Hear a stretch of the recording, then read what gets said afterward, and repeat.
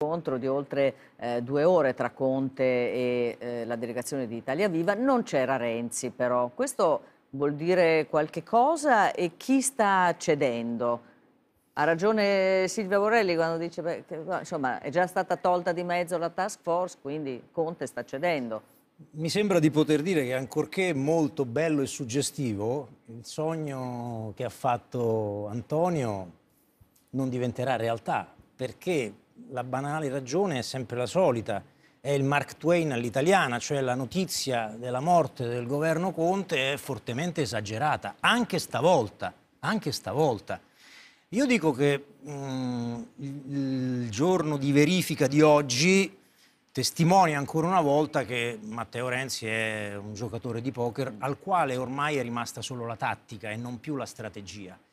L'ha anche lo, detto, no? Che... L'ha detto, ma l'ha detto, però ecco, il problema è questo, però, ha ragione Antonio, perché noi dobbiamo scindere le discussioni che riguardano il palazzo, cioè il mondo della politica, con i suoi incunaboli, i suoi sofismi, i suoi bizantinismi, e quello che invece pensano gli italiani. Allora, io dico, peccato che il sogno di Antonio non si avvera, perché io avrei capito, capirei, se mi metto nei panni di un, di un cittadino medio, capirei il ragionamento di Renzi se portasse alla crisi di governo. Cioè, ammetto di aver fatto un errore a sostenere un governo che non è il mio, perché qui dentro ci sono mh, partiti, Movimento 5 Stelle, lontani anni luce da me, e politici, il Presidente del Consiglio, che non riflette in alcun modo il mio modo di vedere e di fare politica. Quindi il governo va a casa, tolgo la fiducia a questo governo.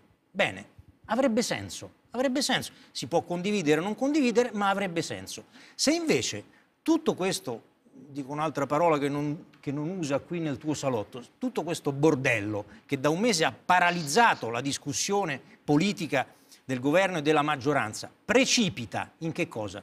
In un rappattumamento sulla task force che forse non c'è più, forse ce ne sarà un pezzetto, ma comunque tanto basta alla Bellanova poter uscire di lì e dire la task force non c'è più, poi ci sarà ancora secondo me, ma comunque lo vedremo. Mm.